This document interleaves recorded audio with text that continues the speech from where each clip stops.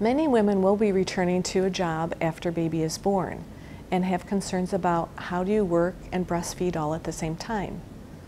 Many mothers find that it's helpful to introduce a bottle of breast milk to baby about week three to four.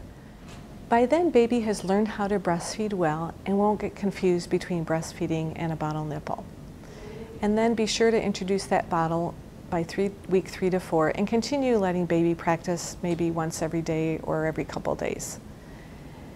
In addition to that, you may find pumping around that time helps you get the initial first bottle. And then when another caregiver feeds baby that bottle of breast milk, be sure to pump then so that you can have additional milk stored up for going back to work. Many mothers find that in a work situation, if they make sure to have time in their schedule to pump, they will keep their supply going. Getting your hands on a good double electric breast pump will help maintain your supply. Other mothers find getting their hands free during pumping helps them have something to eat or drink while they're pumping, or some others even work at the computer during that time. So you can find products that will allow you to get your hands free during pumping.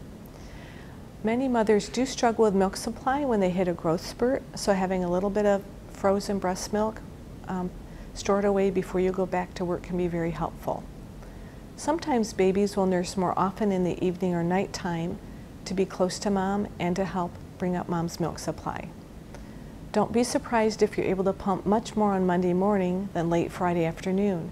You can use your weekends to spend time with baby and get your supply boosted up again.